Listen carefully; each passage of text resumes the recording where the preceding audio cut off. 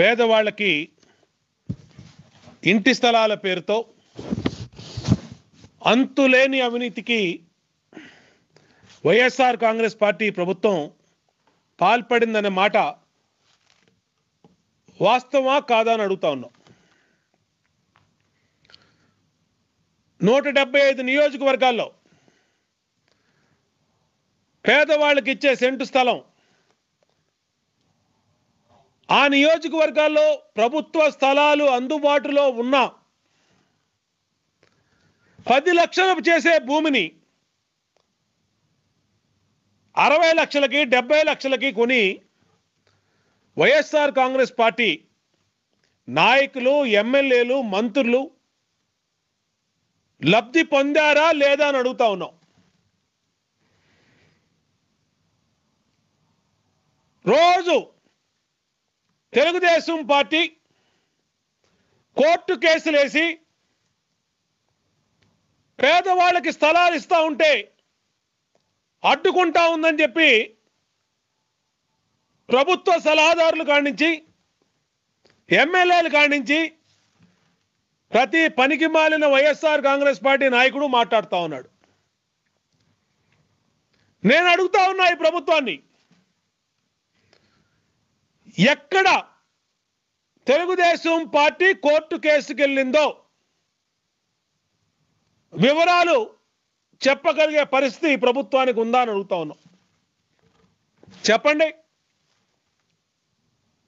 ఫలానా ఊళ్ళో ఫలానా కేసు ద్వారా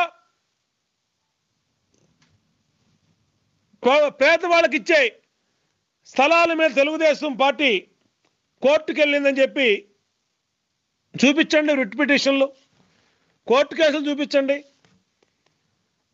మేము చూపిస్తాం. వైఎస్ఆర్ కాంగ్రెస్ పార్టీ నాయకుడు అనపర్తి శాసనసభ్యుడు సూర్యనారాయణ రెడ్డి ప్రధాన అనుచరుడు కత్తి భగవాన్ రెడ్డి కత్తి భగవాన్ రెడ్డి మాజీ జడ్పీటీసీ ఇతను అనపర్తి నియోజకవర్గంలో అక్కడ ఉన్నటువంటి నాయకులు ఎమ్మెల్యేనో ఇష్టారీతిన అవినీతి చేసి పేదవాళ్ళకి ఇచ్చే సెంటు భూమి దీంట్లో కోట్ల రూపాయలు కొట్టేశారని చెప్పి హైకోర్టుకెళ్ళి హైకోర్టులో కేసేసి వైఎస్ఆర్ కాంగ్రెస్ పార్టీ మాజీ జెడ్పీటీసీ కత్తి భగవాన్ రెడ్డి అనపర్తి నియోజకవర్గం అనపర్తి శాసనసభ్యుడు సూర్యనారాయణ రెడ్డి ప్రధాన అనుచరుడు. ఇది వాస్తవం కాదా? ఇది హైకోర్టులో వేసినటువంటి కేసు ఇది కాదా? ఈ విధంగా తెలుగుదేశం పార్టీ ఎక్కడ ఏ నియోజకవర్గంలో మేము కోర్టు కేసు కేసేసి అడ్డుకున్నామో చెప్పగలిగే ధైర్యం ఈ ప్రభుత్వానికి ఉందా? మేము చూపిస్తా ఉన్నాం. ఇది వాస్తవం. Katti Bhagavan Reddy YSR Congress party ex ZPTC Anaparthi నియోజకవర్గంలో ఇతనే సొంత పార్టీ అయ్యుండి కూడా జరుగుతున్న అవినీతి మీద కడుపు మండి ఈ భూములు కోట్ల రూపాయలు కొట్టేస్తూ ఉన్నారు అని చెప్పి కోర్టుకెళ్ళి కోర్టులో స్టే తీసుకొచ్చారు. ఇది వాస్తవం. మరి ఈ ప్రభుత్వం దీనికి ఏం సమాధానం చెప్పుద్ది? మేము స్ట్రైట్గా అడుగుతా ఉన్నాం. తెలుగుదేశం పార్టీ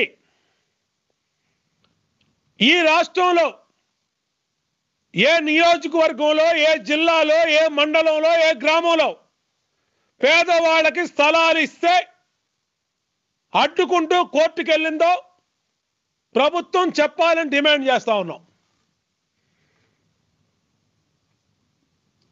అలాగే మీ YSR Congress party ex ZPTC Katti Bhagavan Reddy హైకోర్టుకు వెళ్ళి ఈ భూముల్లో అవినీతి జరుగుతూ ఉందని అనపర్తి నియోజకవర్గంలో స్టే తెచ్చింది వాస్తవం కాదా అని అడుగుతా ఉన్నాం. ఈ రాష్ట్రంలో ఈ పదహారు నెలల జగన్మోహన్ రెడ్డి గారి పరిపాలనలో అంతులేని అవినీతి జరిగింది. దాంట్లో ప్రధానంగా పేదవాళ్ళకి సెంటు భూమి మీద సెంటు భూమి పేరు చెప్పి పెట్టింది పేరేమో పేదవాళ్ళకి ఇంటి స్థలం అని పెట్టారు. బాగుపడింది ఎవరే అంటే వైఎస్ఆర్ కాంగ్రెస్ పార్టీ ఎమ్మెల్యేలు మంత్రులు నాయకులు నాలుగు వేల కోట్లు నాలుగు వేల కోట్లు అడ్డగోలుగా పేదవాడి ఇంటి స్థలం పేరు మీద దోషిశారు ఇది నిజం కాదా? మేము మొదటి నుంచి చెప్తా ఉన్నాం. సాక్షాత్తు మీ ఎంపీ రఘురామకృష్ణరాజు గారు తన పార్లమెంట్ సెగ్మెంట్లో తణుకు ఎమ్మెల్యే ఎలా కొట్టేశాడు? తాడేపల్లి ఎమ్మెల్యే ఎలా తాడేపల్లిగూడ ఎమ్మెల్యే ఎలా కొట్టేశాడు? భీమవరంలో ఏం జరిగింది? నరసాపురంలో ఏం జరిగింది?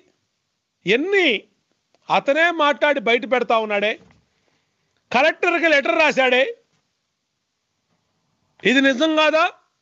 అని ఈ ప్రభుత్వాన్ని ప్రశ్నిస్తా ఉన్నాం. అంతేకాదు నాలుగు వేల కోట్లు పేదవాళ్ళ ఇంటి స్థలాల పేరు మీద అడ్డగోలుగా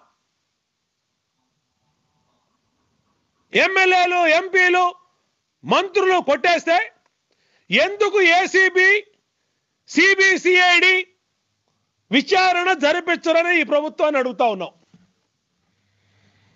మీకు ఆ ధైర్యం ఉందా? విజిలెన్స్ ఎంక్వైరీ చేసే ధైర్యం ఉందా? ఏసీబీ ఎంక్వైరీ చేసే ధైర్యం ఉందా?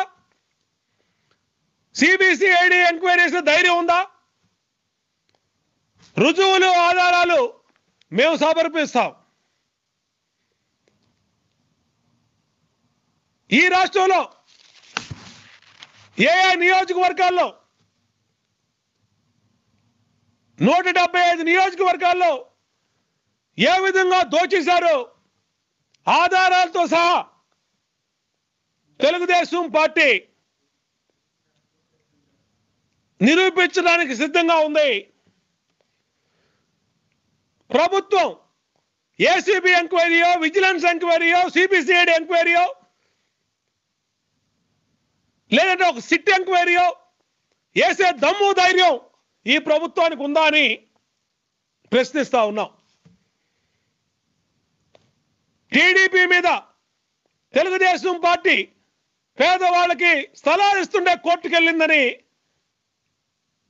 అబద్ధాలు ప్రచారం చేస్తూ సంవత్సరం నుంచి పేదవాడిని మభ్య పెడతా ఉన్నారు.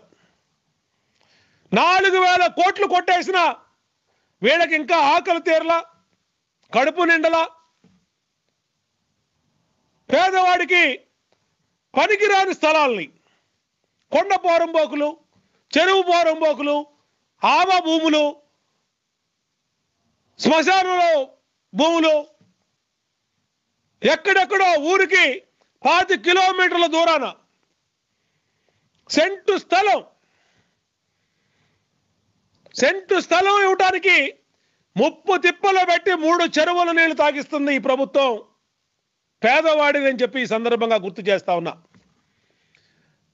నవరత్నాలు నవ మోసాలతో ఈరోజు అధికారంలోకి వచ్చినటువంటి వైఎస్ఆర్ కాంగ్రెస్ పార్టీ నిత్యం పేద వర్గాల్ని మోసం చేస్తూ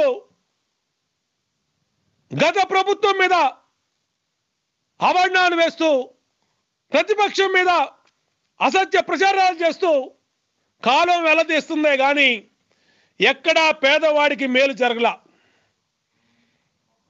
నేను ఈ ప్రభుత్వాన్ని సవాల్ చేస్తున్నా. మా హయాంలో పేదవాడి కళ అయినటువంటి ఇంటిని నిజం చేద్దామని ఈ రాష్ట్రంలో లక్షల ఇళ్ళు గత ప్రభుత్వ హయాంలో కట్టించాం.